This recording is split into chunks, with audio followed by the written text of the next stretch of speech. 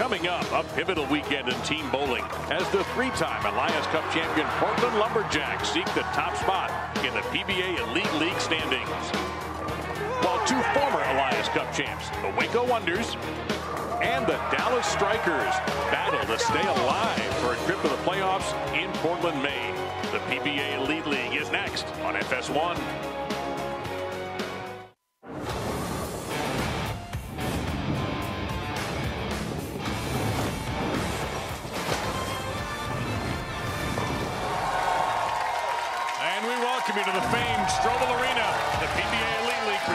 Snickers is in the Thunderdome just outside the Big D in Allen Park, Michigan for a doubleheader of PBA Elite League action. And we take a look at the table for the PBA Elite League, and you're going to notice that line of demarcation. We're going to see Vegas and Portland later, but we're focusing on the two teams who don't want to be below that line, taking each other on right now, Dallas versus Waco.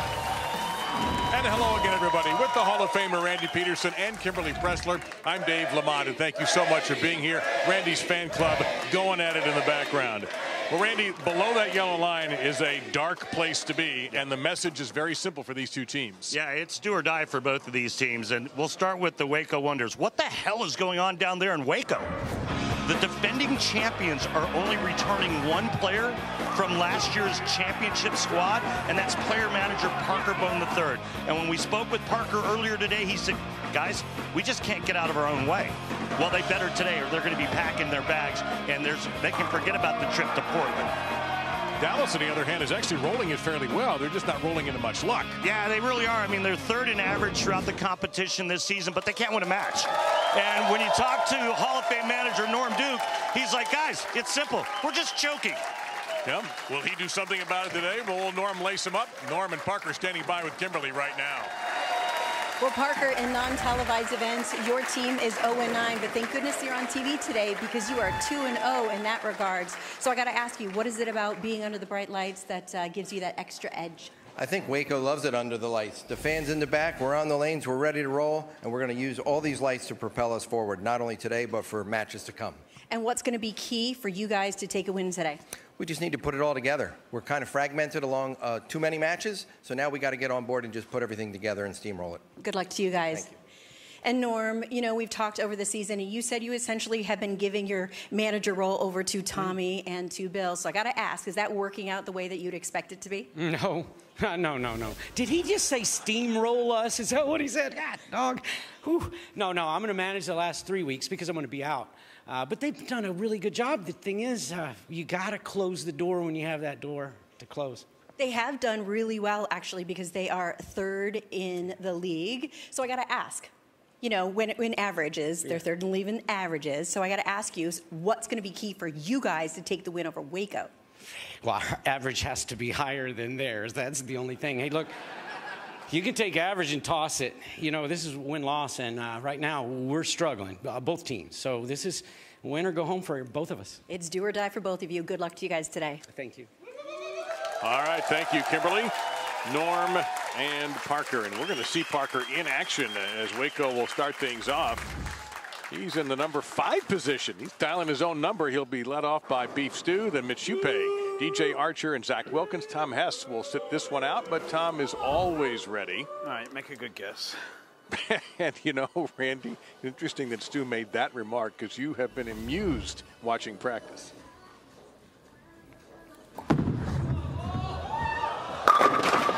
Good. Yeah, and- and you're right, Dave. I, the players in warm-ups, they were playing everywhere. I mean, I didn't see one discernible track to the pocket. I mean, you could go straight up the lane, you could cross boards, you could do just about everything, and nothing looked good. Take a look at the lineup. Will this look good? Jake Peters, who's celebrating a birthday today. Frank Snodgrass. Butters in the number three position. And Norm Duke not bowling, fortunately. Tommy Jones, number four. And the anchor man will be the candy man. Quiet 10 there for Jake. Nice shot, bud. An incredible crowd here at Strobl Arena, by the way. Uh, this very unique venue is just about at capacity. In fact, really, it is at capacity. Yeah, this is quite the uh, the bowling arena, is it? is it not? And, you know, after the passing of Tom Strobl, after the Masters last year, the PBA named it the Strobl Arena. happy And I think uh, somebody wished him a happy birthday right in the middle of about him ready to shoot. He's, this is a race to two points. The winner of game one, you get a point. Winner of game two, you get a point. You get to two points, you win. If you don't, after two games, Did you see that? then the teams will select three players to roll one shot each in the shootout. And the highest aggregate score, max of 30, will win. If you're still tied, then we'll just keep throwing, trying to throw strikes until we have a winner.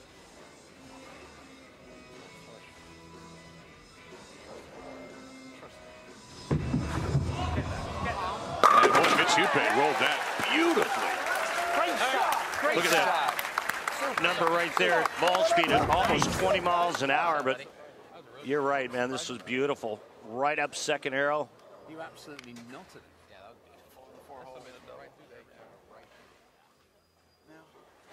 Hupe picked up a title last year with his dear friend Packy Hanrahan winning the Roth Holman doubles in Delaware a year ago. Oh, they ran him over there.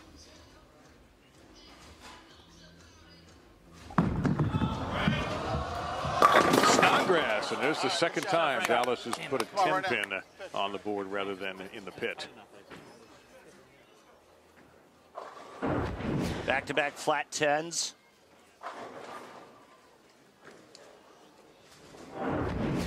Frank out of Centerline, Michigan, looking for his first PBA Tour title. He's at his home center, Five Star Lanes in Sterling Heights. Actually was on Waco last year. Yep.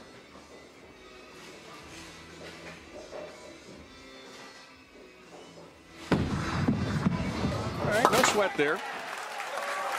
Yeah, so no Frank Snodgrass on Waco, no Simonelli on Waco. Well, he was released. Simon, uh, Parker released Simonelli. Uh, Ryan was struggling this season, and and Parker cut his dear friend.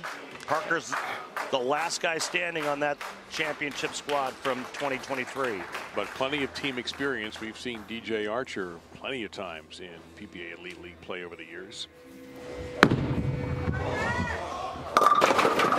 And his signature loft that time got a bit of a break. Yeah, nice break, just leaving the three pin going high. Hey, Jordan. Here's that signature loft you mentioned. Sorry, sorry, sorry, sorry, sorry, sorry. Thanks, Storm. Sorry. Come on, Deej, run down.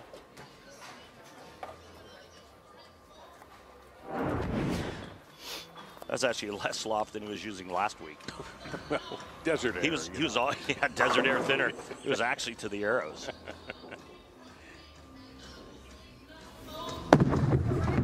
Ah, that's easily handled. So Waco with the early lead. He only wants to strike so far. Out of danger. We'll take a look at a man who throws lots of strikes when he gets going, Jakob Butturff. Come on, Jake. And it's been a, an oddly quiet year for the lefty. Yeah, it's been a struggle a struggle for him this season. No hair gel. What's going on? He looks different. And that did not have much speed on it. Rear it up, huh?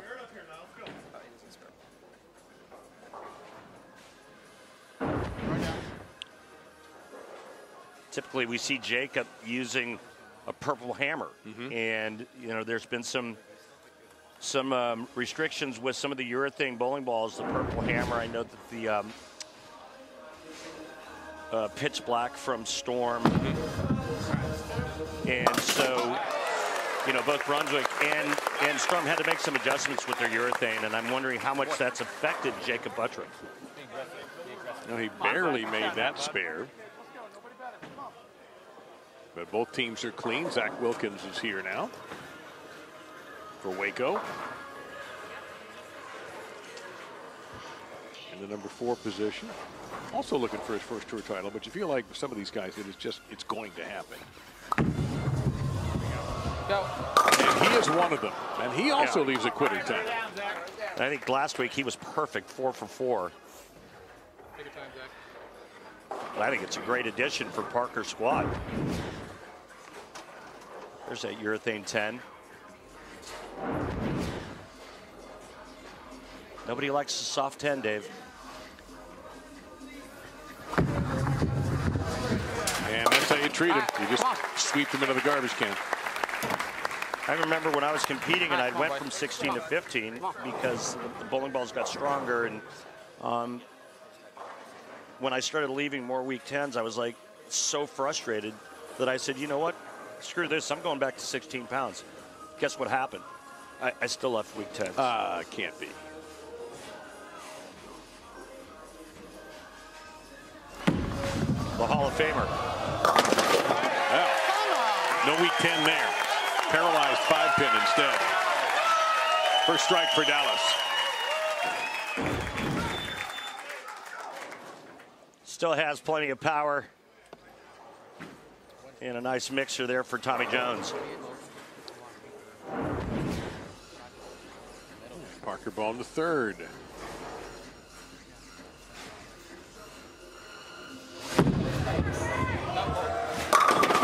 we've seen that a few hundred thousand times, haven't we? Gee, I wonder why he's, he's bowling anchored. It is the Earl Anthony pattern, after all. You need to have a good lefty out there. the Candyman, Sean Maldonado. In the anchor position. Interesting, no Bill O'Neill. Yeah, Bill sitting this game out. We'll see if he's going to participate in the other game. And Sean, whoa, whoa, that never came back. Right down. Right down. Spirit up, buddy. We're on strike. No count. Now, there's a couple different ways you can shoot this. This way, or you can just cross over and throw the head pin or cut the head pin into the 610 like that. Oh, no. Unlucky. Ah, what a shot, dude.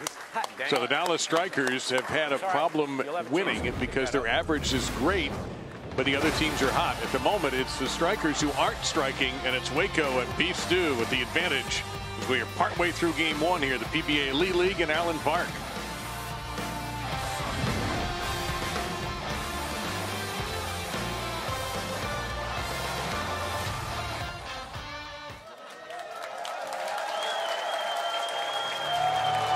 Get set for the second half of this opening game between two teams trying to hang on for the chance to make the trip to Portland. And they're bowling on the 43-foot Earl Anthony pattern today, Randy. Yeah, and just like Earl, Earl was great on tougher patterns, and uh, this pattern stuff. And the only thing I can tell you right now is there's just not enough lines on this graphic. uh, you can see Parker going pretty straight from the left side. Urethane is in play on the right side. Players are everywhere. So the Wonders, with the 23 pin advantage at the halfway point in this race for two points. Stu with an absolutely beautiful strike on his first shot. And in the Baker format, this is going to be all for Stu Williams in this game. Spun that marble beautifully. Pretty good shot there by Stu Williams. Let's go down to the manager for Dallas. Norm down 33. What did you tell your team during the break? I told him to stay with it. You know, there was four out of five really good shots. Stay with it and uh, and force the, the issue. And look, I'm, I'm all right. I, I'm not worried. You, Norm. And we'll find out if they do indeed stay with it. It's a big shot here for frame number six. And another soft 10 for this Dallas team. That has been a pattern through six frames. Yeah, half the frames flat tens for the Dallas Strikers. Maybe the name's going to be changed to the Dallas Sparers. Nice. I thought you were going to give me the names have been changed to protect the innocent, but you topped that.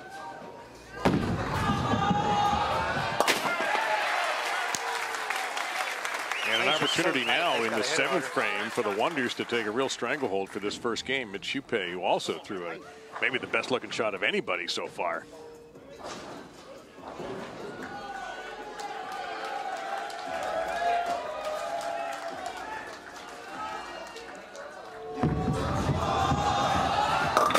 On the other hand, a lot of work to do. Yeah, big left Run down. off his hand.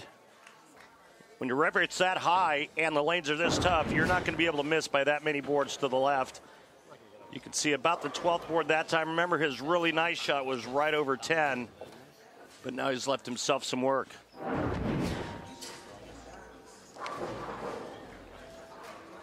Got to cover that back pin, the nine pin.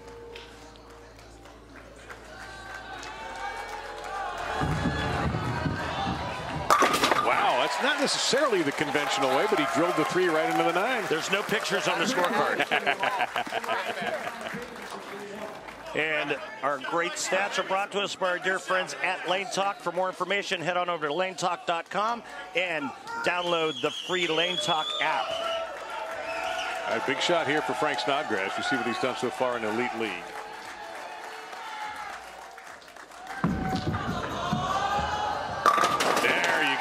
A 10 that got chopped in half.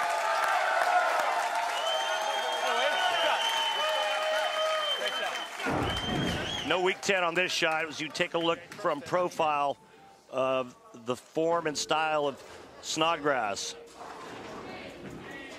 That's almost like the logo, isn't it? You see how he looks down at the foul line right as he lets go of it? Interesting the way he tracks his target.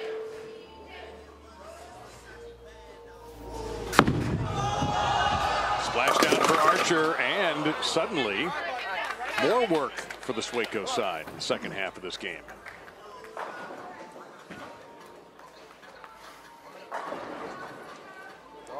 Quickly in the Baker format, if you're not familiar with it, the leadoff bowler bowls the first and sixth frames, as Randy gives you the intel on how to make that. You bowl the second, you bowl the seventh, the third, the eighth, the fourth, the ninth, and the anchor man, fifth and ten.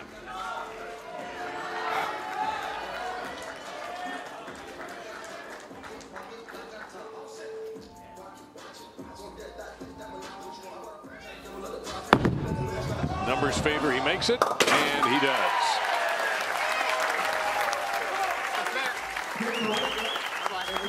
Really, you got a fan. Yeah. Can this guy find his magic? Few people in professional bowling can string strikes together like this guy when he gets going. It's scary. Looks more fit, doesn't he? Like Yeah. he's lost some uh, some lbs.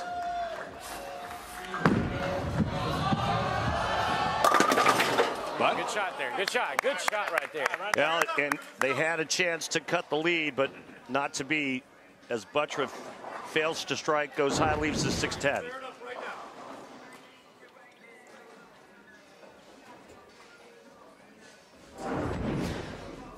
the goal here, so if Waco hangs out of this lead, they'll be halfway in this race for two. It's two points, so if Waco wins both games, this match is over. If they don't, if we split them, then we will go to a shootout. And the loser goes home. Yeah, your, your playoff chances are completely gone. You, you get to watch the. Uh, you can watch the playoffs. Yeah. You can watch them from your house.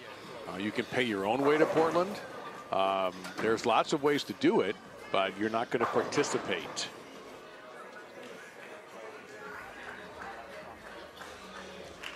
Still to come, oddly enough, the top two teams in the league, Vegas versus Portland. They don't have that problem. Pretty. Oh, gorgeous shot. Right here. Yeah, he's been nails for this team.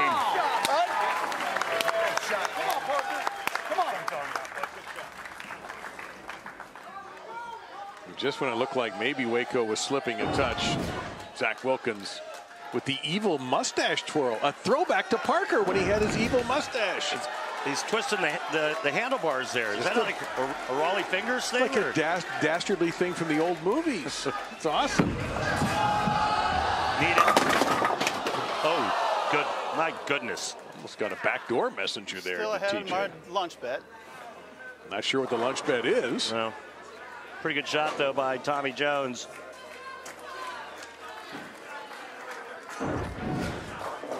Watch this pit action. Head pin came searching.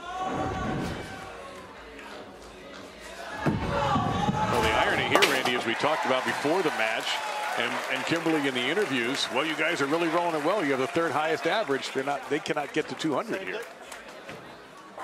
Yeah, and right now Waco just needs seven pins in the 10th frame Just for like, just for fun. to capture game one. I think this guy could probably handle it. How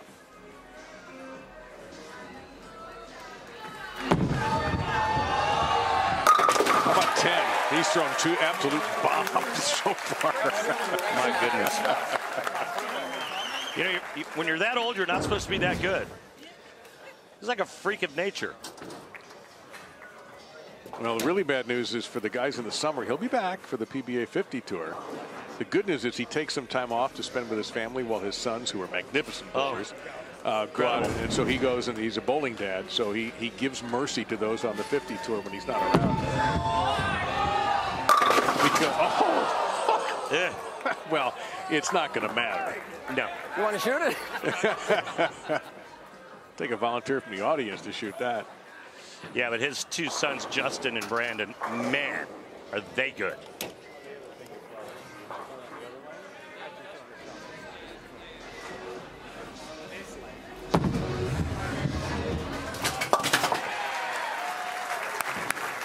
Well, he might have been disappointed in that, but he's going to take the first point. Waco halfway to picking up an all-important third victory that will keep them alive for the chance to make the top six. Akron and Motown having clinched in the last few days. The Candyman, boy, another soft 10, Randy, for this Dallas team. That's Well- our uh, 10th frame. What is that? Six of those? Yeah.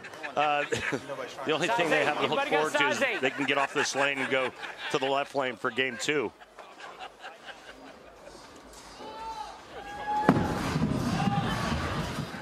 Yeah, five, ten pins. Yep. And no ringers in the bunch. Everyone the same. There's, uh, yeah, some soft ones, and then that messenger by Jones. This lane over there will curve. Touche. Touche, Billy. And the interesting question here, I wonder for Norm, and maybe Randy, you have a second to ask him if he's going to change his lineup. Yeah.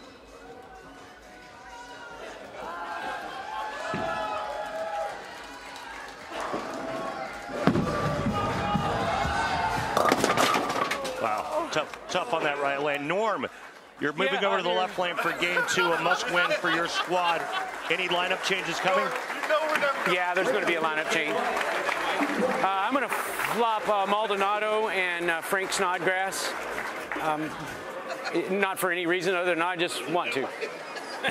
All right, thanks, Norm. Hope it works. Yeah, we'll see. All right.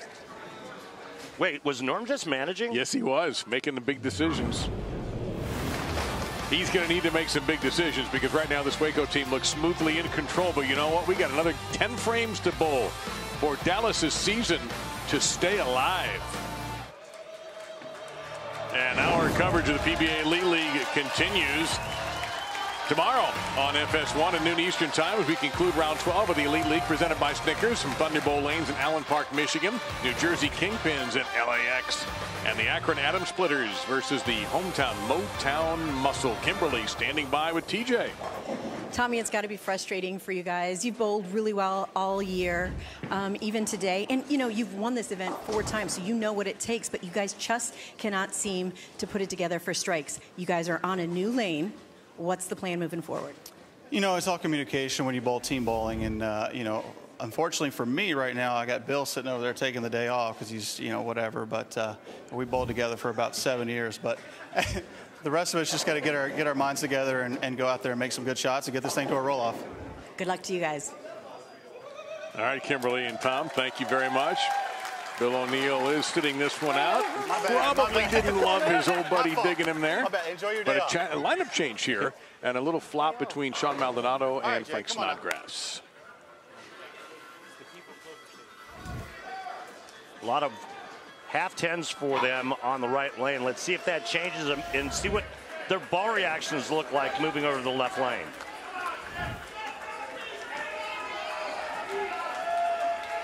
No changes, by the way, for Waco.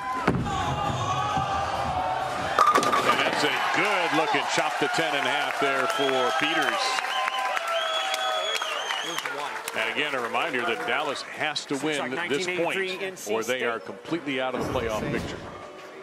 Well, this is more better. No week 10. Well, it was an interesting discussion we were eavesdropping on between Stu Williams and DJ Archer. Here's Stu now about Stu's opinion of this right lane.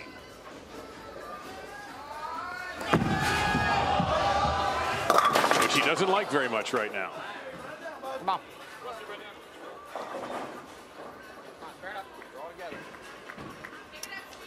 They were talking about how Stu felt that the right lane was tighter down lane, and watching the Dallas Strikers lead those flat tens and then coming up light, that it was a little tougher to get the ball up the hill on that right lane. And, and so it would only make sense that Stu's first shot was a little tuggy. And there's that tightness down lane. Ah. So an opening break for Dallas. Sorry, boys. Such a bad shot. Such a bad first shot. And so now Sean Maldonado has had great success at the regional and national level. Well, just split that right in half. So far, so good on that left lane, right? It, So- looks, it looks way better. We seem to have a third character in our play, and that's the lanes. Yeah. Fourth arrow out to about eight. And then the good pin carry. And suddenly, although it's only the second frame, this is kind of an important shot here for Mitch.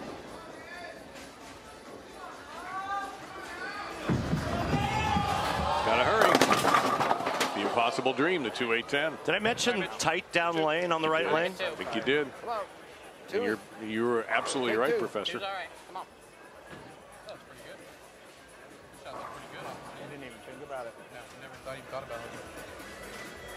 I think I've made the 2-8-10 like twice in my life. It- Does it not have a lower percentage than a 710 for conversions at this at the PBA level? I think it does. I think it's hard. Of course, I'm going to get a lot of grief for that, but I mean, there's there's a couple of ways you can try to wrap the two pin around the 10 and have it kind of pull the 10 over into the 8. That's one way, or you can have something bounce out, splitting the 2 8 straight back. It doesn't look here. It's hard. it Yeah, it's, I've made the 710 more than I've made the 2 8 10. Butters swinging way wide, and Messenger comes through for the Strikers. That's what I'm talking about, my man. And this is our Just Right strike, brought to you by Just Bare, the mindful choice for high quality protein with no antibiotics ever. Just right, just bare. And this just barely struck as the head pin came over with that little soft messenger onto the seven. I heard what you did there. Just trying to to take care of our sponsors. We love them. We do. Well, DJ Archer, listen to the Stu Williams lecture. So a little softer ball speed. He's got the loft, and because of that, he's able to get that ball to come around I'm, the corner on the right lane. Where was the string?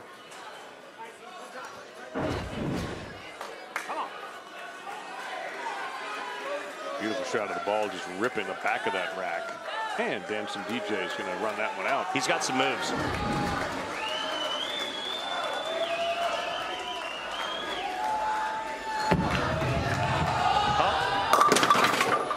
Nope, not that time for Tommy. Oh, That one just squirted to the left. Spared up. I don't know. I didn't get that one projected. Oh yeah, I was a little. I was a little.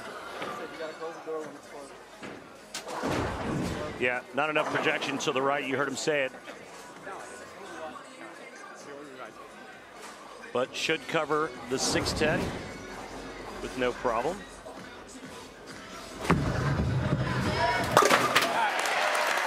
Ninety-four point three percent of the time, it's made every time, That was me. I just didn't get according to. Lane Talk. Our friends at Lane Talk. Our, our, our good friends at Lane Talk. Love Lane Talk. So this is the man who was picked up when Ryan Simonelli was let go. And unfortunately, Ryan is having a tough time this year. We hope he gets together. And Ryan's so good in Portland, Maine. Yes, he is. I mean, he was the MVP last season. he's had some huge shots in that building. But Parker had to make the tough decision. That needs to. Where did that come from? Yeah. Come on. That's a lot of hand and the right amount of ball speed. You can see his ball speed 17.3, so it's soft enough to get it to come up. And catches just enough for the 1 3. After back to back opens, now it's back to back strikes for Waco. So Frank Snodgrass struck at his second ball when he was in a different position, now in the anchor spot. Interesting decision missed by Norm Duke. Run the spare down, Hoss. And that shot just never made the left turn. Shocking. My fault. I made the This average, not quite as easy as the one that Tommy Jones just polished off. Oh, well, then again, if you do it that way, it is easy. And for Frank Snodgrass, this is a very satisfying moment of the match. That's sponsored by Snickers because nothing satisfies like a Snickers. Well, he loses count, but he saves the open frame with a great cover here on the 1 2 4 6 10.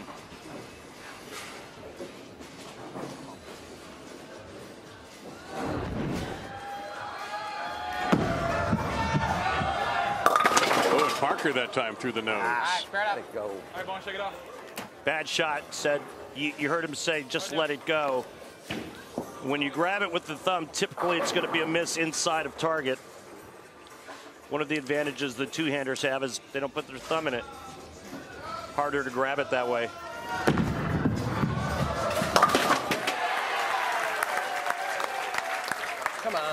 So after five in the first game, it was Waco that had a 23-pin lead. This time they're down 28 in the race for two. If the Strikers are able to hang on to this lead, we will go to a shootout with the winning team moving on, the losing team eliminated from playoff contention.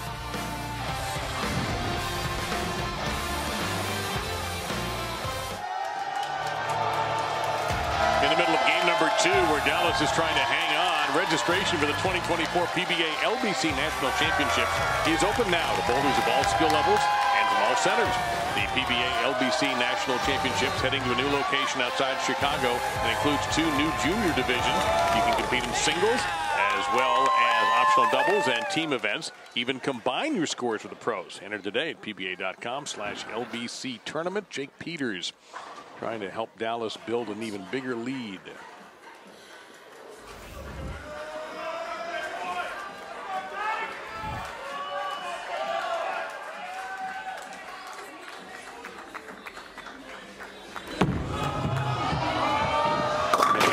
Crosses over, leaves him with just a single pin. Again, inside of target. Not enough hold on this pattern. On a house shot, yeah. Not the Earl Anthony 43.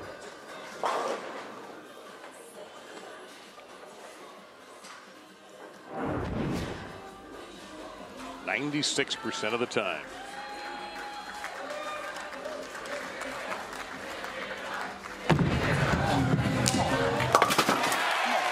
Let's go down to the floor and talk to player manager Parker Bohn the third. Parker, the struggles look real on that right lane. What adjustments does your team have to make?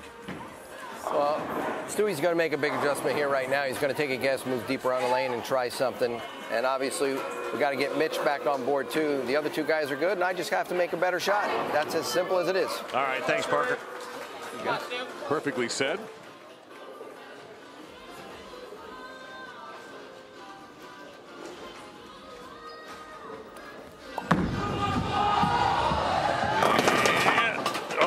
He's got something at least he can handle. Ball change and a, a, a line change for Stu Williams. Big move to the left. I'll give that a chance. I don't think he's too mad at himself. As he said, I took a fair chance. I mean, he knew he had to do something different. I'll show you how good these bowlers are. That this is not an easy shot. And basically, 92% of the time they take care of it.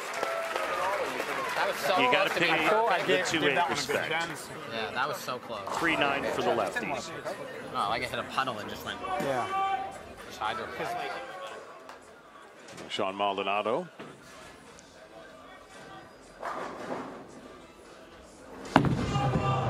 Inside as well. This is makeable, but right, as fair Randy will show you here, it's not going to be a lot of fun.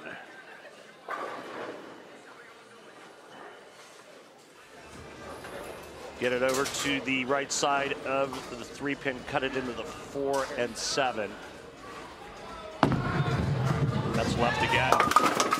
Lucky to get two. All right, Jake, hold us up here, bud. And is this going to be a big moment in this match? Frame number seven, all of a sudden you see that lead change rather dramatically. Now the Wonders very much in arm's length of Dallas. That's fine. I'll just move a little right. It was a 40 pin advantage for Dallas at one point, shaved it down to 13 with Hupe up. Oh, whoa, snap hook. Come on, Mitch. Run down. The right lane looks awful. All right.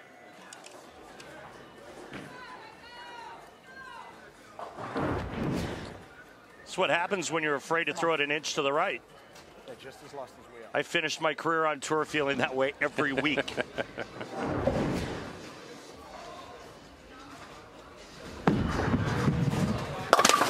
All right, no trouble there for Hupe. And will he be back for a shootout if there is one? Don't forget, if Dallas hangs on here, this is an enormous shot for Jakob Butturff. The shootout will be on the same lanes, which seems to be an advantage for Dallas. And it's three frames aggregate, no spares. Aha! Huge shot for Butters. Man, is he throwing it slow. Your shot then was what I think his first shot of the match, Randy, was under 16 miles an hour. I think it was 15.6. Damn it. Slow. Remember, Hupe's first shot was right right at 20 miles an hour. By the way, to add one more thing, if we do have that playoff, Waco will choose to go. Who will go first? We'll get lane choice. And Archer, I don't know whether he was going to try to walk it out or he just didn't want to look at it. Come on. Great shot. Come on, pick it up. It's like somebody took a can of STP and dumped it right in front of the three pin. Holy Andy Granatelli. That was pretty close. For the love of Mario Andretti. There you go. Look it up, young people. Let's Look it up.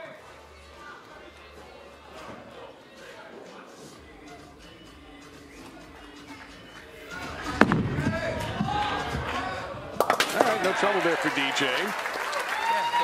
So you're saying there's still a chance? Well, there certainly is for Dallas to try to put a hammerlock on this thing in the ninth. Tommy Jones knows a thing or two about foundation frames. His best result so far this season in the Illinois Classic.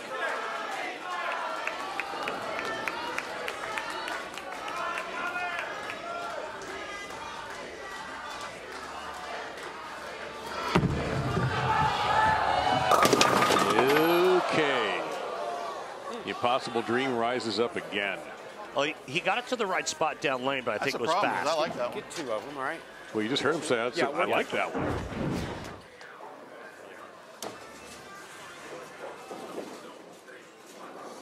And yeah, his reaction indicates Yeah, yeah. he did like it. Yeah, it, it may have been just a, a hair fast. Hey, you feel it?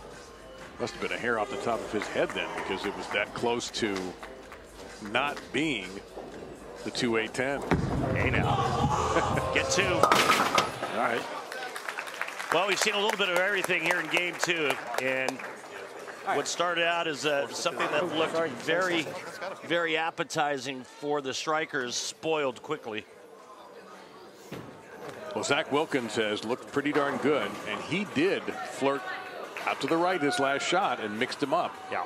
Let's see if he's got uh, the inkling to do that again.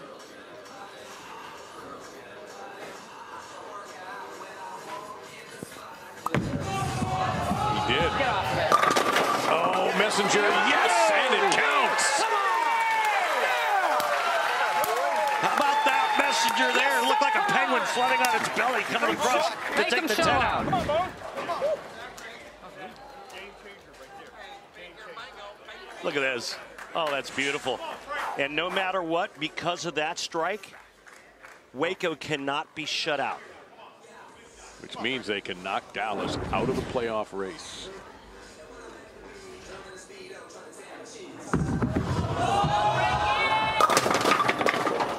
Stand oh, up nice 10. shot, Austin. Nice After shot. Three spare. frames, the Strikers had a 42 pin lead. Come on, on the one.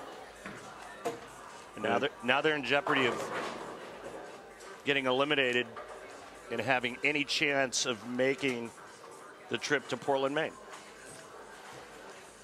Where Norm Duke has had some success in that building, too.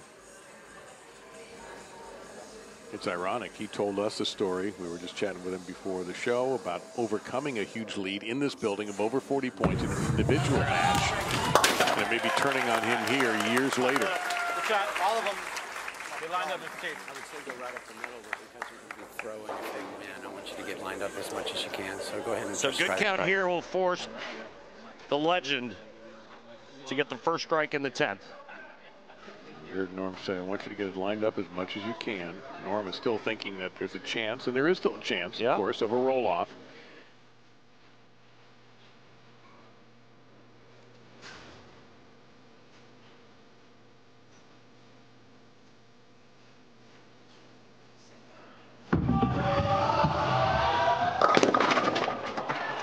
Well, nine's okay.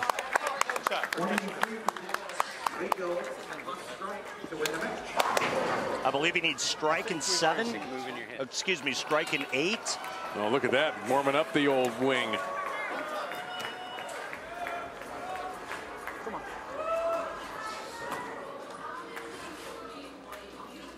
First things first.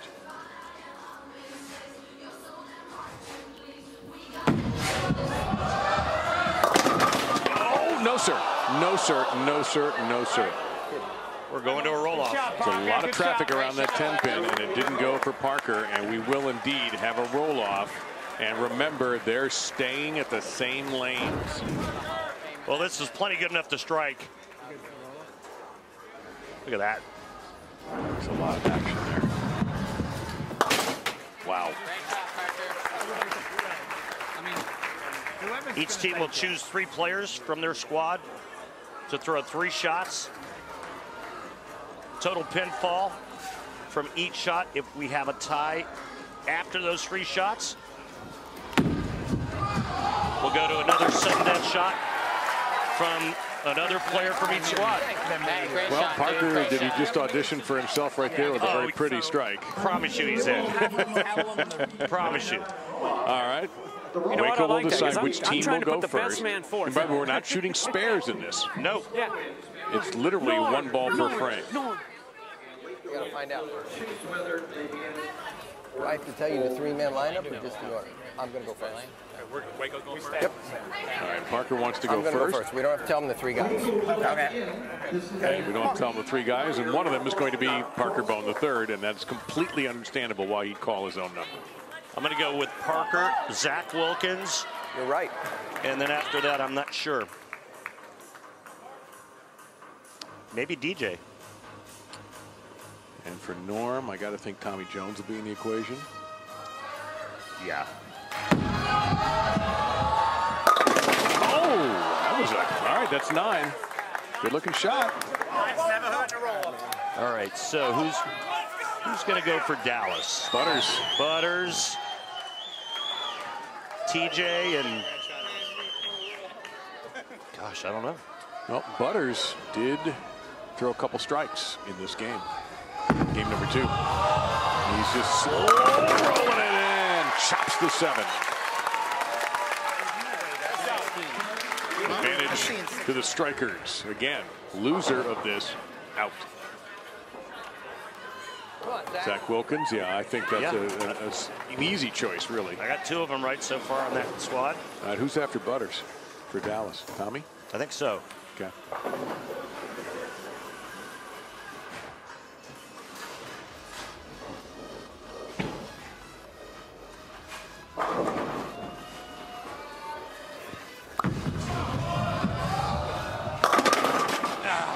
Just a tiny bit. Yeah, that, that was bad. Tiniest. of- That wasn't bad. That was a good move off the 10. I thought that was going to be 10 back. Just think about this. This came down to that light mixer that Parker didn't strike on that left the temp in. It, it probably strikes nine times out of ten. It's Jake Peters in the number two position here. It's cumulative score.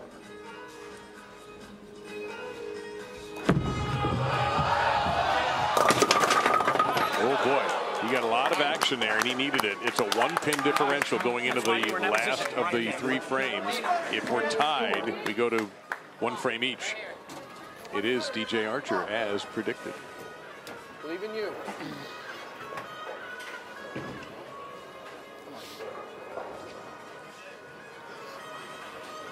And Norm Duke will see who he calls up. I'm going to have to guess Tommy I, Jones. I would think. His pedigree Yep. demands it.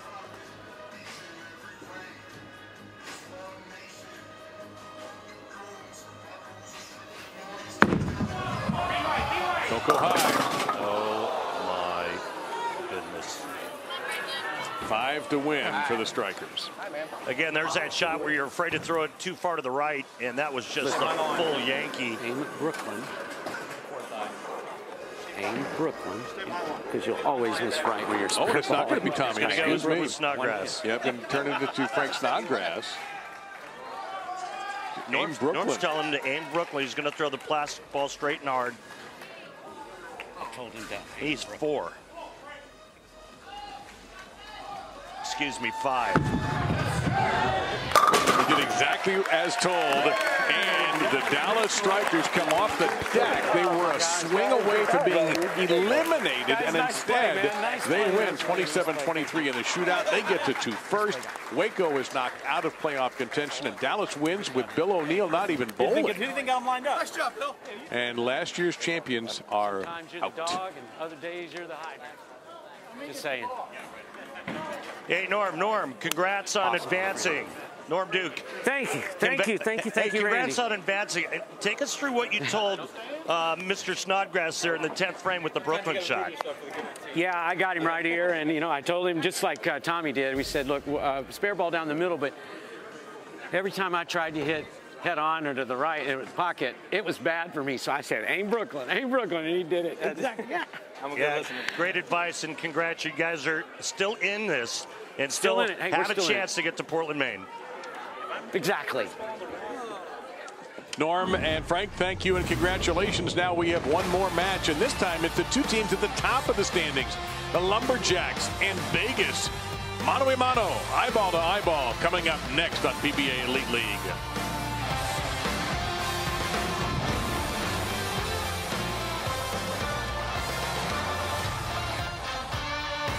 And today on FS1, witness one of the great lineups in Major League Baseball, powered by three former MVPs, Ohtani, Betts, hey, I hear he can bowl, and Freeman leading the Dodgers as they take on Cody Bellinger and the Cubs beginning today at 3.30 Eastern on FS1. Ohtani going yard last couple of games, too, for the Dodgers. Speaking of people who know how to go yard, Randy Pedersen, I'm Dave LaMont, Kimberly Pressler with us. As a matter of fact, we're going to hear her pressing questions in a moment, but I got a pressing question for you. What just happened there? Yeah, it turned into hot garbage real quick, didn't it? And one shot ended up costing Waco um, from having any chance to defend their title. And it was that shot in the 10th by Parker Bohn the third where he left that mixer, uh, mixer 10 pin. Yeah, that looked like to all the world it was going to be a strike for Parker, and if he gets it, we're talking about something completely different. But Absolutely. Waco is knocked out. Dallas still has a chance to make it to the playoffs in Portland. So we've Kimberly Pressler is kind of going around asking, you know, if you had a chance to have a PBA Elite League team, what would you name it? Here's today's edition of Pressing Questions. Brought to you by Tom, if you owned a PBA league team, what would you name it? Um, let's go with the Tampa Toms. Marshall, if you owned your own PBA league team, what would you name it? Mm, the Outdoorsman. I would name it the South Carolina Commandos. I'd flip a coin, and it would be the Lions, Tigers, or the Bears. Oh my. Did you get my reference? Yellow Brick Road? Kyle, you know a little bit about the PBA League. Yeah, Portland Lumberjacks. Now, say you were the owner of a PBA League team. What would you name it? I would have to go with the Storm Troopers, Kimberly. That is so good. Did you literally just pull that off the top of your head? Yeah, I did. So PBA League, you know, we may have an expansion team. The Stormtroopers, I'm taking applications. Hit me below. And that presented by Go Bowling. Just slide into Kyle's DMs if you have another uh, idea for him. so the new standings, we see Dallas moving up to three and nine. Waco now you put an E there for eliminated. And coming up in just a few moments, the top two teams, the two highest scoring teams, Las Vegas and Portland. But as we look at our Bowl TV highlights here, they held round 11 of the PBA League at Thunderbowl Lanes, and Jesper Svensson comes through big time for the Akron Atom Splitters. They knocked out Waco 2-0, and Akron is in the playoffs. And then it was E.J. Tackett the Motown Muscle as they beat the New Jersey Kingpins with some help and clinched a playoff berth as well. The top two scoring teams, multiple-time champion Portland Lumberjacks taking on the high-scoring High Rollers when we return.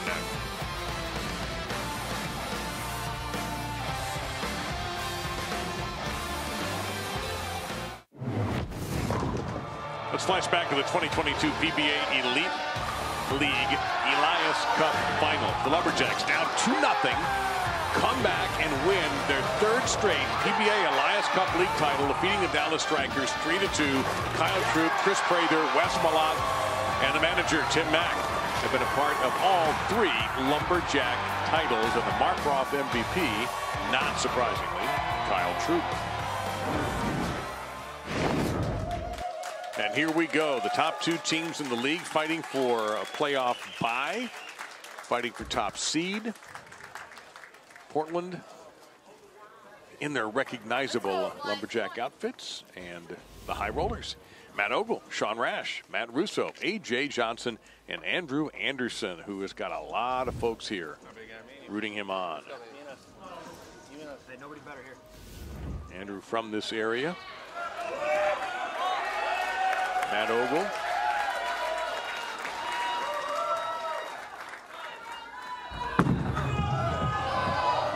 He started with his feet way left. All right, pick it up. Pick it up. When you're going to create that much angle on this pattern, you can't throw it hard. You got to keep your ball speed down so it'll come around the corner. We've seen this leave about the third time today, I think. And no. So a rough start there for Las Vegas. Leave it there. Leave it there. Two Baker games, you get four shots unless you're the anchor player, and it's uh, it's tough because of the weight between each shot. That's a pretty strong lineup Tim Mack brings out here. Fa, Quintero, Prather, Smallwood, and Kyle. No Wes Malott. Nope. He is here. Been battling a bit of a back. And you see Thomas Larsen in the background for Vegas. He is in the envelope and available All if good, all necessary. good. Nothing was done to these lanes, by the way, in the short time. There was obviously no time to do anything. But it was the right lane that emerged as a major player in that Dallas versus Waco match.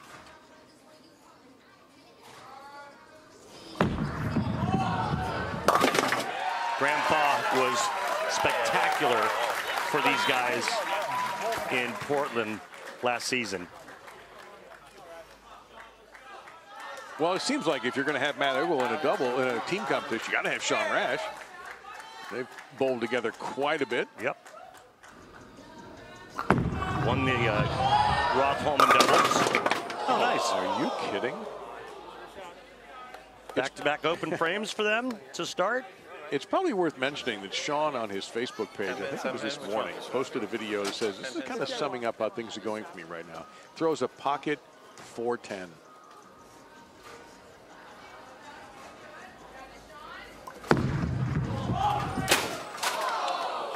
Back-to-back opens. to start. He went to blast that 10 pin if he could Yeah. off the back wall, but didn't happen. Later. Come on. Arturo Quintero, who loved Portland, Maine so much, he moved there. Yeah, what a story.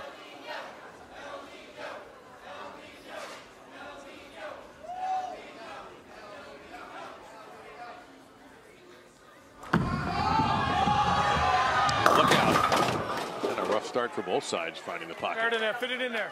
So this oil pattern's rough. Fit it in there. Come on. Work hard here.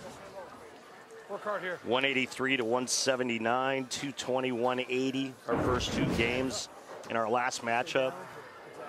They're they're hard. They're Earl Anthony hard. Worked out for him pretty well. Look out. Yeah, there's a chop. And so an early Leave it there. mistake. So, yeah, right at the point, at the moment, I should say, Firmer, we a uh, little more aggressive. see a couple of teams down in it, struggling right? just a bit.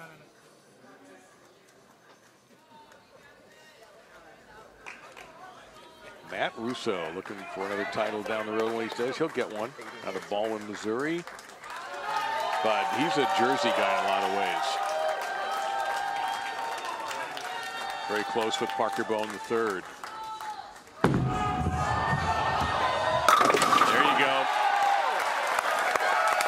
That's where 10 belong. Much better now for the high rollers. This one's perfect by Matt.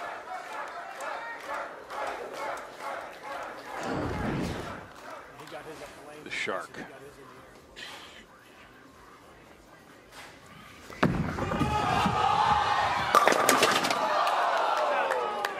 Seemed like he deserved better. A lot of urethane going down the lane right now.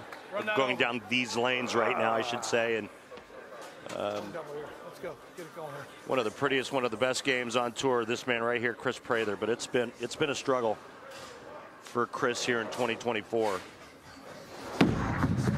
Anything you can point to? No, I mean his game looks perfect every time I watch him throw it. It looks perfect. Good pitch. It's a cruel game. Good work out there. AJ Johnson. New dad? New dad. New dad, yep. Congrats, AJ. Yeah, very happy for him.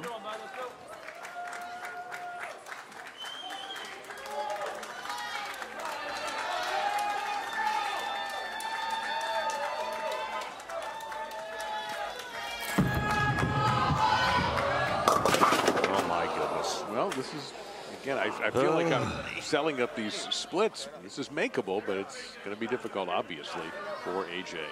See that ball speed right there? Mm-hmm. And so that obviously that's soft enough, and then it overhooks. So what happens if he throws it faster?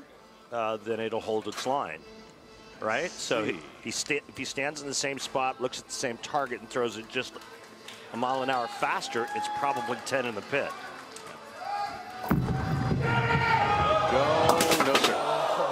The struggles continue for Las Vegas. The good news, the only thing that's keeping them in the game with that early going is that Portland struggling too a little bit. The unsinkable Tom Smallwood stepping up.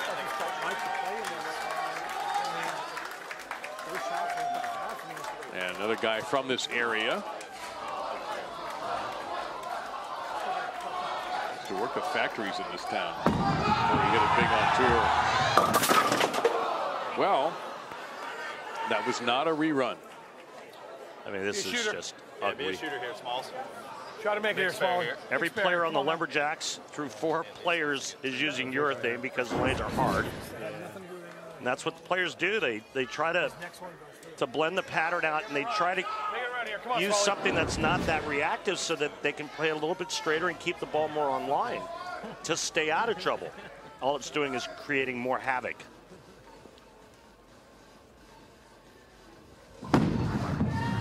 Watch this. No. So what's the adjustment? We can't continue to, to see this like this. So is it an equipment adjustment? Is it That's a foot adjustment? Feet, eyes? What do you do? I, I just don't think they get enough shots to really figure it out. They're going to talk to their teammates after every shot thrown. They're going to make an adjustment when we go to break after five frames. And the adjustment is, hey, I know they're hard. Let's somehow try to find a way to hit the 1-3. And if I don't strike, let's leash something that I can make. And Andrew Anderson collapses the 7 and 10. And the hometown bowler with a huge group of people here to support him, upwards of around 50 here in Allen Park. Now that lead just 11 with maybe the hottest player on tour stepping up. And he, too, is using urethane. All five of the Lumberjacks, ure- urethane on the right lane.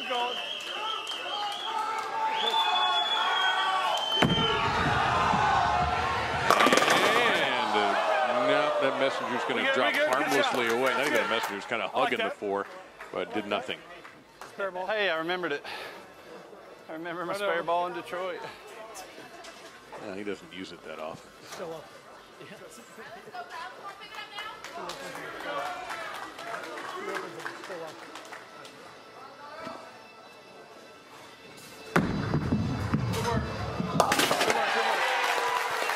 So through five, the top two teams in the PBA Elite League going at it with a small advantage so far for Portland's Lumberjacks. Three times they have won the Elias Cup. Las Vegas and Matt Russo and hometown man Andrew Anderson in pursuit.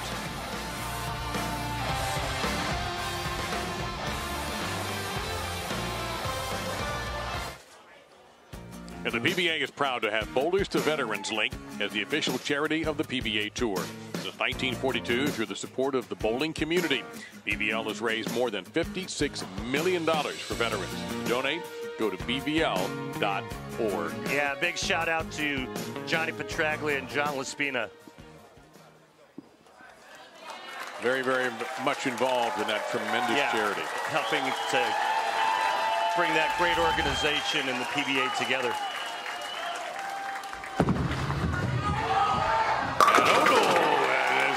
There's a late tap on the 10 for a strike for the High Rollers. All right, let's go down to the floor with Tim Mack. And Tim, what do you tell your team, or what did you tell your team during the break? Listen, I, we just got to make some baby moves. The lane is really difficult. Both sides of the lane are difficult, and both lanes are difficult. We're going to make some baby moves with the urethane, try to keep it in play, catch a double, see if we can't take this game. All right, Tim, thanks. So let's see what qualifies as a baby move.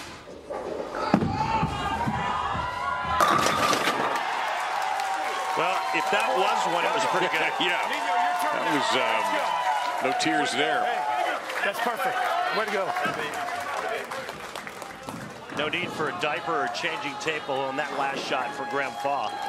Now Rash looking to make it three in a row for the High Rollers. And he does get a mixer. And Las Vegas getting serious. See Amleto Monticelli, the manager for Las Vegas. Just like that, the lead goes right over to Las Vegas High Rollers. Now Portland trailing by nine can regain the lead with a strike here.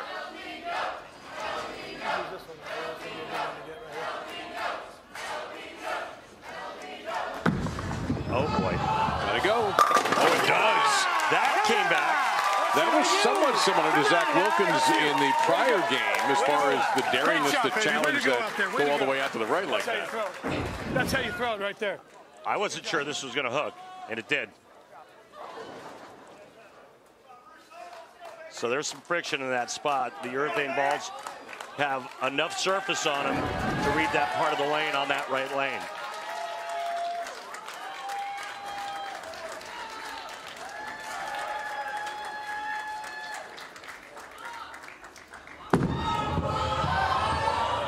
And Russo puts 10 aside.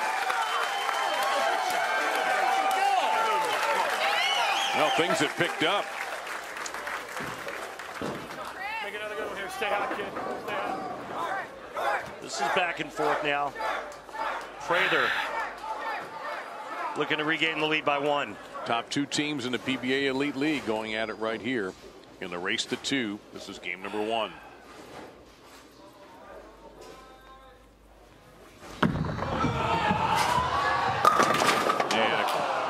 10 there Good pitch. for Good pitch. Run Chris. that over.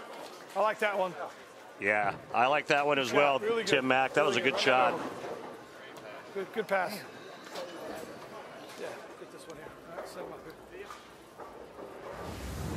First title, by the way, in Allen Park. Won the PBA Scorpion Championship in 2019. See that Dodger Really good. Cub promo? You talked about it earlier with the lineup of the Dodgers. Yeah. And then you said taking on Cody Bellinger and the Cubs. Cody Bellinger, an ex-Dodger. That's right. They've done well in the player development department and person acquisition. And how do I know this? Well, because I've spent many, many days at Chavez Ravine. You are an LA man.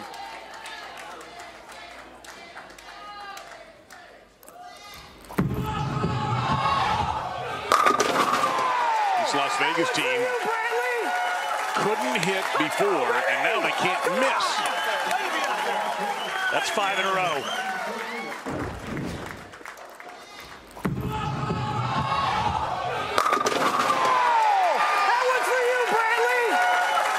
See those eyes get really big when the ball's about 10 or 15 feet in front of him after he lets go of it?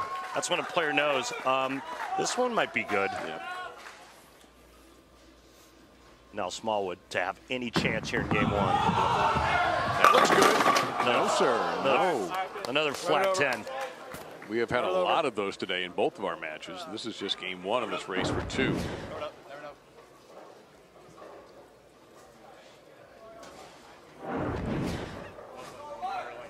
Yeah, that's all right.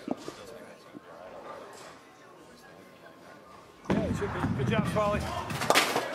lot of bowling left still, guys. A lot of bowling left. A lot of bowling. Good shots. Good shots. Vegas just has If- to mark we were gonna think to take the first point. On now. One for us. And Andrew Anderson is more than capable of delivering that.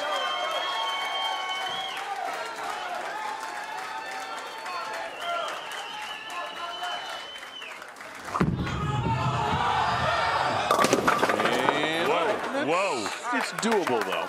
It's doable. Yeah, but if the 10's standing, then it's uh, it's a whole different ball game. But should have no trouble with the 2-8. Past ch- major champion is Andrew, 2018's USBC Masters in Syracuse. Out of Holly, Michigan. Holly Lanes.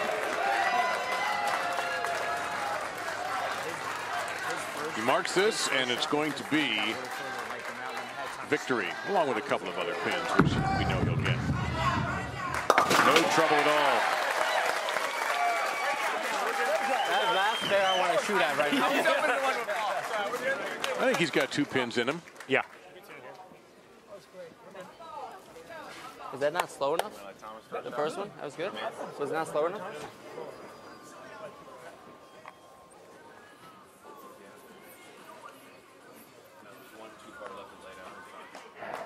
Tell you what you could do here. If you took all four of the managers, I would pay for that step ladder. All of them Hall of Famers. Yeah. Parker, Norm, Amleto, and Tim. There you go. And one more, just for fun. That's one point for the High Rollers. As they look to take the top spot in the PBA Elite League table, race to two. Las Vegas is halfway there. But you know what? Waco was halfway there, and it didn't pan out for them. Can the comeback be made by the three-time champion Lumberjacks? Game two next.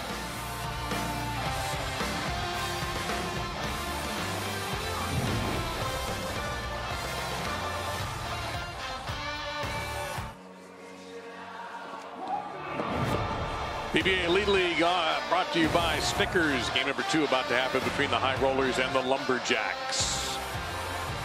With the High Rollers up 1 0. Tomorrow on Fox, it's week two of the United Football League as the Houston Roughnecks take on the DC Defenders. Spring just got stronger. The hard hitting action continues tomorrow at 4 Eastern on Fox. Lane changes? Yes. Lineup changes? No. Yeah, the, uh, the orange, the orange and blue one, right? Same five. And we'll, we'll, we'll, we'll start with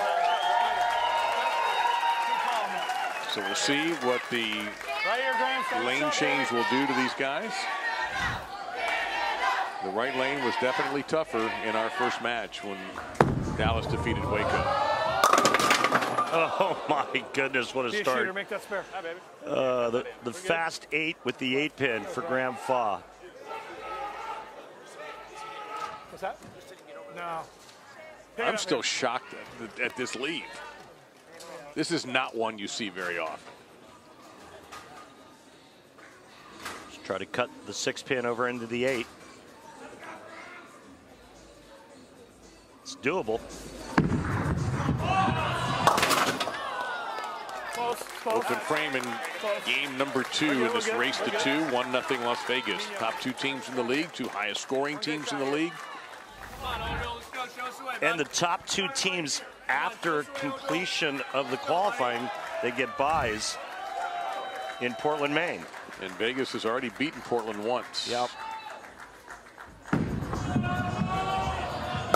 That just looked like it came off a little funny, didn't it? Yeah, almost like it fell out of his hand. Yeah. Hey, run down. Run down.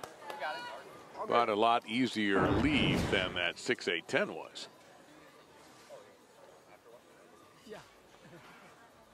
We saw how much straighter the Lumberjacks played that right lane, all with urethane. First shot for Matt Ogle. He's trying to carve the whole lane. Well, there was some talk from Tim Mack during the break about our oh about our urethane may wreck their lane, and I wonder if that's going to Come on, come happen. on. That's a shocker. The Lumberjacks should actually have a lead. Give it over the spot. El Nino is what they're chanting for Arturo Quintero. Yeah, not good if you're a weather pattern Great if you're a professional bowler from Portland, Maine. Good shot. And again, look at the ball speed right here. Spare balls over there. Really good. So higher rev rate, you got to throw a pinch faster. That lower rev rate, right about that that 17 mile an hour mark, uh, is going to work nicely on that left lane. It's been a mystery at times for these bowlers.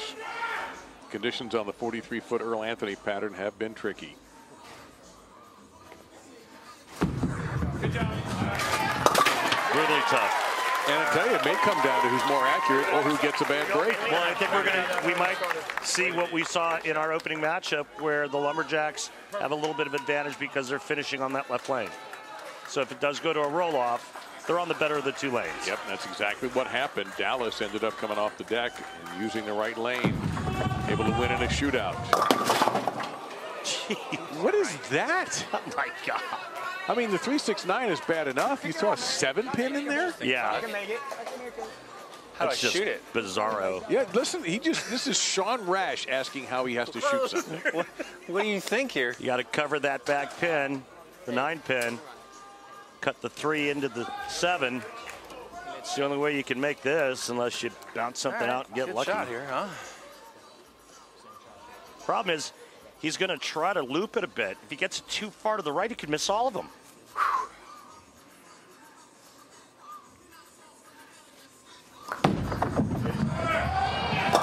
Wow, I don't know if you can do much better than that other than make it. That was an incredible shot by Sean. Uh, all right, good frame. That's again. insane. That was an incredible attempt, and this is incred- incredibly unlucky. Look at that. One goes in front, one goes behind. Exactly. I don't know what else he could have done. Yeah.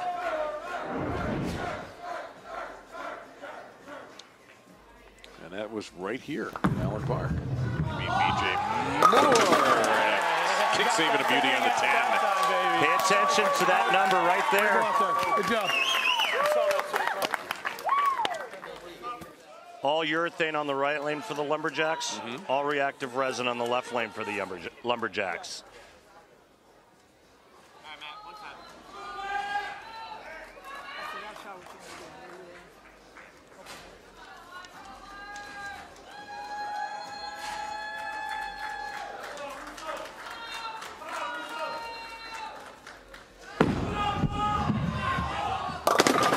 There's a mixer for Russo and a big shot there for the high rollers. Hey, never give up. Great shot, great shot, great start. Right light for that team through three frames is the lefty Russo.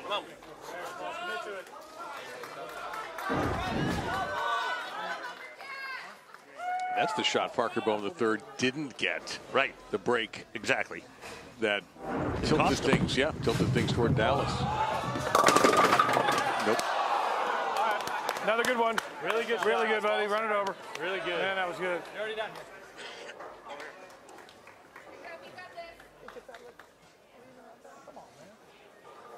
Tim Mack's reaction was, come on, man. As if to say, he deserved that strike. Here you see Tim right there.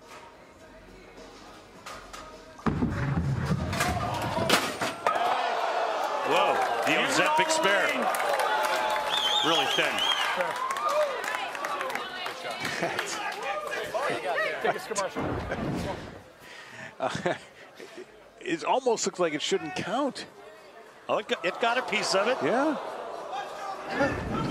It's the wind, What I we, think, what have we not seen? What have we not seen thus far?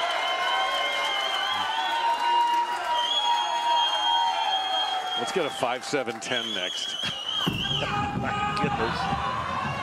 Look at that hang spot That right does there. not want to slow down. That does No. not want to slow down. No, it does not. And that's why the Lumberjacks all threw urethane on that right lane. Over there. How do you fight that Wow. if you're in Las Vegas? You, you have to move there, right and go straighter Picks up speed. Okay. because it's not coming off of that spot. You cannot open that lane up. And whether you do that with urethane or you take your hand out of it and you go straighter with reactive, whatever, you can't give the pocket away on the right leg.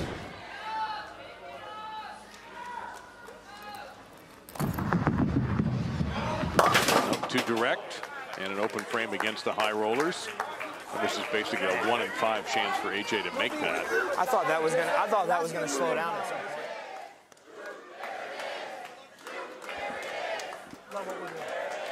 You Kyle Troup won a couple of events this year. Picked up another major. That U.S. Open was a big one for him. Very emotional after that victory with his dad, the great Guppy Troup, in attendance.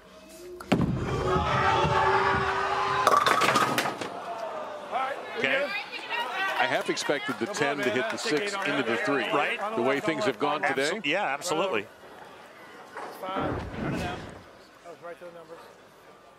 Three, six, nine, ten standing. Now it's just the three, six.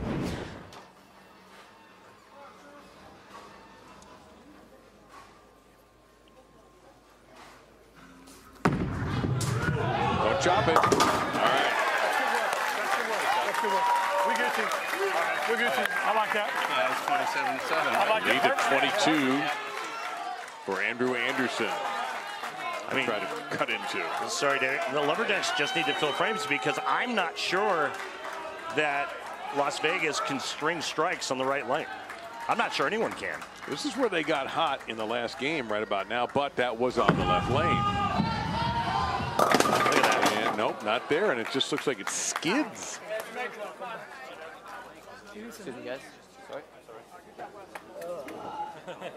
Doing my part.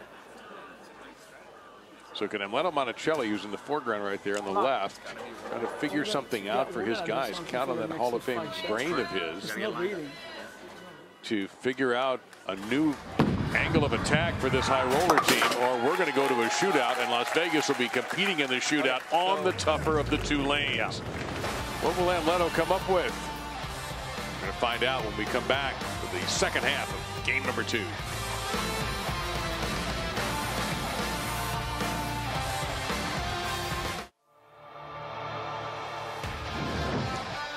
PBA on FS1 is sponsored by Go Bowling. For friends and family fun, log on to gobowling.com to find a center near you. With Kimberly Pressler and Randy Pedersen, I'm Dave LaMont, and our FS1 crew bringing you the second of our doubleheader on the PBA Elite League presented by Snickers here at the Strobl Arena in Allen Park, Michigan. Graham Fach, the lefty, Portland, needing to win this game, force a shootout. That's how you do it. All right, Dave, let's go down to the floor and talk to manager, Hall of Famer Amleto Monticelli. Amleto, what does your team have to do in the second half of game two? You had three opens through five frames. What changes now? Well, they're gonna have to strike, right? Uh, all Yeah, of but how are them they gonna do that? well, they're gonna move a little more right because there's a little hang spot on the right lane because of the urethane being used. So it looks like a couple of balls will make it. Thank you, Yeah, that was a good shot there. Yeah, That's a good start. much better. Well, he's absolutely right. It was. Matt Ogle was not able to get that 10 pin knocked aside. Just a reminder if you are joining us a little bit late, the shootout is three frames cumulative. No spares shot, just one ball per frame. And if that remains tied, then we just go until we find a winner. Frame by frame. Great frame, Matt. Great frame. That's a good shot. Really good. Co-star of the show, the featured player that we nominated for best or worst supporting actor is the right lane.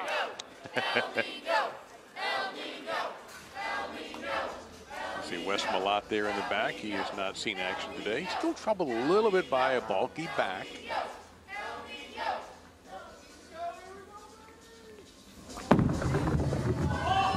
Quintero, perfect. He's really good at that slow hook, too, by the way. Way to go. Way to go out there. Now the lead is 33. That's how you throw it. It's a no doubter. oh, you gotta love watching him. He's so much fun. What's going to happen now to Sean Rash? That's going to go light. Thought he was going to get a 17 for a second. That was a pretty big move off Oh, his first shot. Well, the obvious conversation with Amleto is they all know they have to do there. something different. It was a matter of what that different was going to be. That was pretty good. And then the other question is, at what point do you kind of bag it and Say, all right, let's just get lined up for the roll off. Now? You know, I, I think that one more frame, you got to start talking Good frame, strategy frame, about, frame, all right, this frame. is what we did. This is it the move we made after the first half. All right, this is what we're going to do going into the roll off.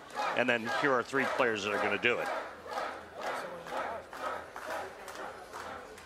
Stay hot here, kid. Stay hot. Come on, baby.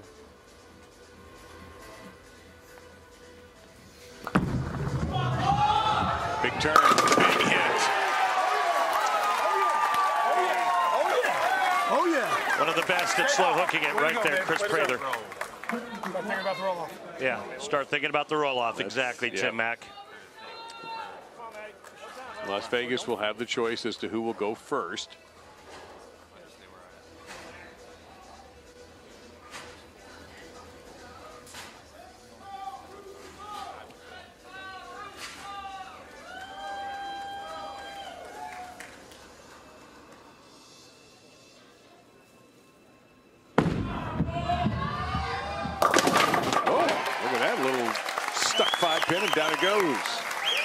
Lone bright spot for them on that right lane has been Matt Russo. Well, you have to think that we do go to that roll off, which is apparently much more likely that he will be part of it. Yeah, he- you're going to have to put him in that. It's be interesting where Tim goes. It seems like Prather has earned a spot. Prather, Arturo. Kyle, how do you leave out Kyle Troup? Let's see his next frame. And Smallwood doesn't look bad either. No. All these players on the Lumberjacks are, are really good at slow hooking it. We're talking about. Way to work. Way to work. Give me one. here. And that's exactly what the left lane's calling for. Right lane has just been taunting. Can I please have a re-rack? AJ very politely asking for a re-rack. Yeah.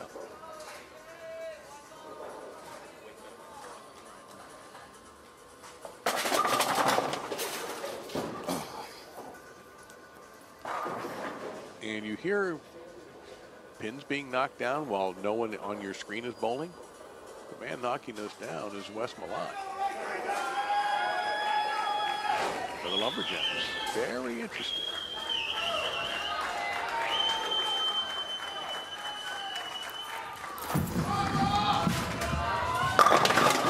And it, we will go to So a shootout. So good. Oh, yeah, yeah.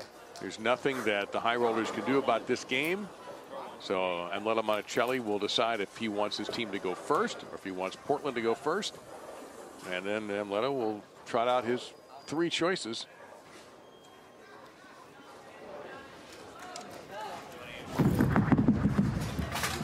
Being a big soccer fan, this is essentially penalty kicks.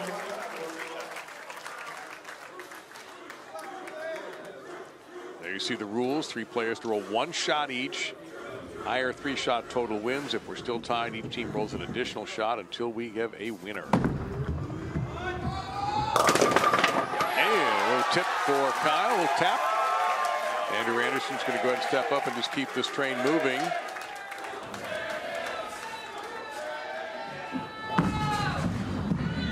Uh, you give old Wes a, a shot here. See if he's got if he's got anything. It sure looks like that's going to happen. He is, know, nope. Kyle, I thought they might bring Wes in. He can sub, and that just knocked Kyle out for the game, but it wouldn't knock him out for the shootout. And Wes is looking like a man who's about to go bowling.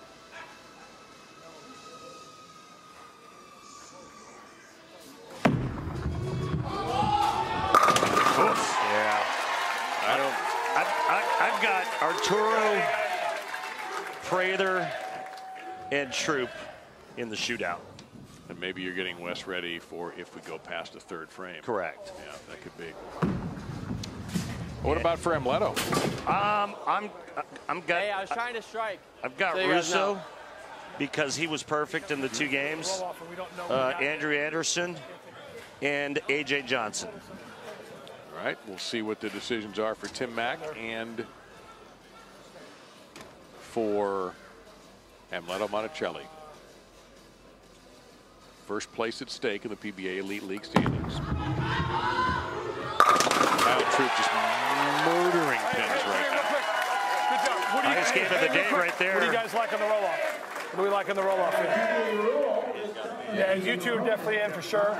And, and, and I want to go with Smalls. Go with Smalls. Then you're the first one out, and then you. Okay. So we'll go. We'll go. Uh, KP first. Smalls. You. Yeah. Yeah. yeah. Going with Smallwood. Okay, over. It looks like over, possibly over Kyle. Is no, it, no, over, over Arturo. over Arturo. Okay. I'm okay with that. We'll go first. We go Okay. Okay. We got our lineup. Do you need to know? Okay. Good luck, guys. Yeah. you Good luck. All the best. Uh, well, this was an easy choice Yeah. for Amleto Monticelli. Russo's been tremendous today. He wants a little love. No spares will be shot. One ball.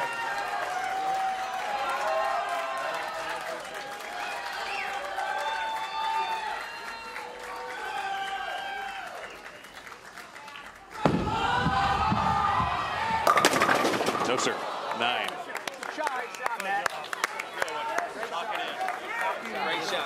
We're going to be throwing. You're the first. Prather has looked very good, particularly with the demands of this left lane. What it's called for, he fits him perfectly. Let's go. The only thing they have to be careful What's of that? is if the left lane transitions in front of them because of that slow sweeper, he could break loose, go right through the nose for five. Instead, it hung Yeah. a little bit. Because it was wide right. Too far right when he Yep. threw it. All right, that's all six. So AJ Johnson has a chance to really hurt him here with a, with a strike. His last shot was really nice on this right lane, left it ring in 10.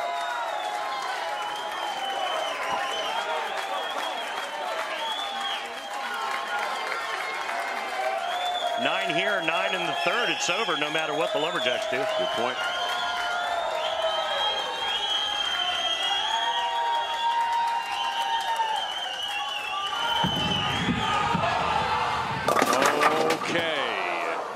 It's seven.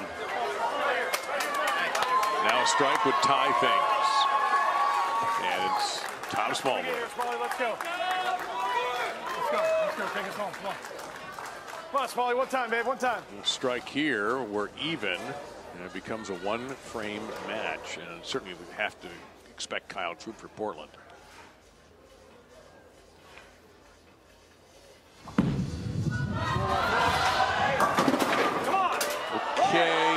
Going to go in front. So it's a one-pin difference. A strike wins it for Vegas. That's the one I was talking about. Okay. Be- before Prather's 2 4 8 10, that was the one I was concerned with. Very fortunate to get, nine on that hit. So Andrew Anderson, 50 fans here to watch him at a Holly Hill nearby. A Michigan man with a chance to give Las Vegas the W. A strike will do it. Nine, and the best Portland can do is force a fourth frame.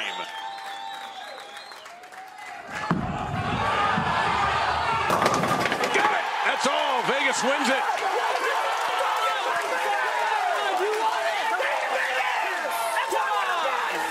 For the second time this season, Las Vegas' High Rollers have beaten the Portland Lumberjacks, and they take over first place in the PBA Elite League standings. Thrilling finish, Anderson coming up huge at the end. Just aces this one. What a br- brilliant shot by Double A. Shreds the rack. And that's all she wrote. You gotta like it when the players are throwing each other out of the way to get to get to that winning shot, huh? That was pure cash for Andrew Anderson. Our coverage of the World Series of Bowling continues tomorrow at noon Eastern on FS1 as we conclude round 12 of the PBA Elite League presented by Snickers. Here from Thunderbowl Lanes in Allen Park, Michigan. Coming up next, MLB and FS1 with the Dodgers face the Cubs. For Randy and Kimberly and our crew, I'm Dave LaMont. You've been watching the PBA on FS1.